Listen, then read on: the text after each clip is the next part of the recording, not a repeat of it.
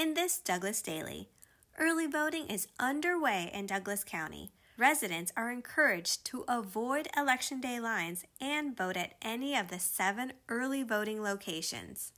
Residents can vote Monday to Friday, 8:30 a.m. to 6 p.m. until November 4th at the following locations: Douglas County Courthouse, the old Douglas County Courthouse in Douglasville, Lithia Springs Senior Center, Woodie Fite Senior Center, Boundary Waters Aquatic Center, Deerlick Park, and Dog River Library.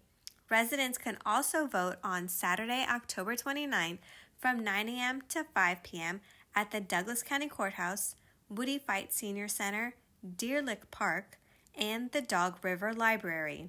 To find an early voting location near you, you can go to maps.douglascountyga.gov slash apps slash advanced voting. Type in an address to find the nearest early voting locations. Remember, on November 8th, Election Day, residents must vote at their assigned polling location. For more Douglas County news, follow us on Facebook and watch us on YouTube.